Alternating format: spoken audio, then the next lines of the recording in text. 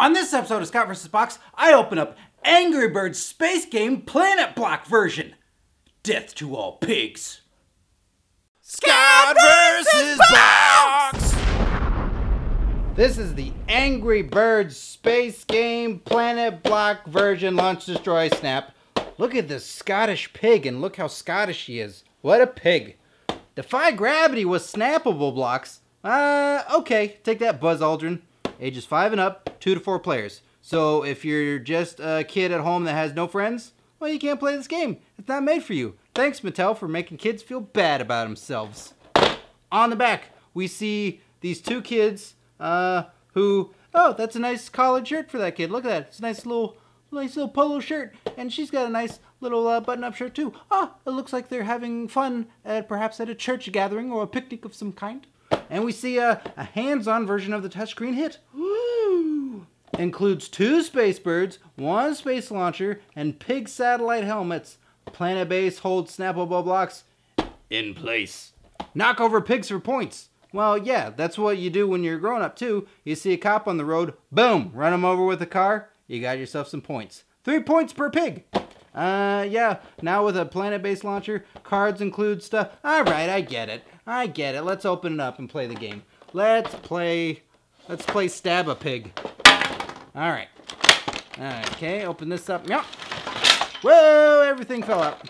All right, and then, then, whoa, there's something in here. A treasure map. Treasure.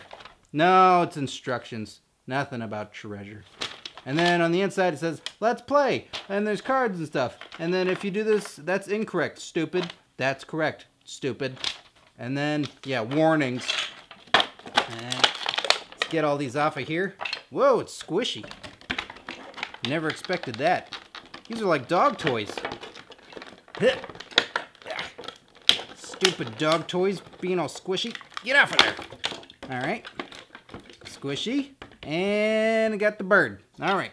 That's that. And then you have a cool little mountain set that the Incredible Hulk can play on. These match my pants!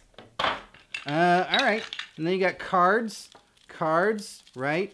I don't think they're nudie cards because if they were nudie pig cards, that would be gross. And your uncle would take them from you. All right, let's see here. Three, three, three. Whoa, that's not a number. And then uh, two, one, one, one. And then uh, that's not a number, that's a launch.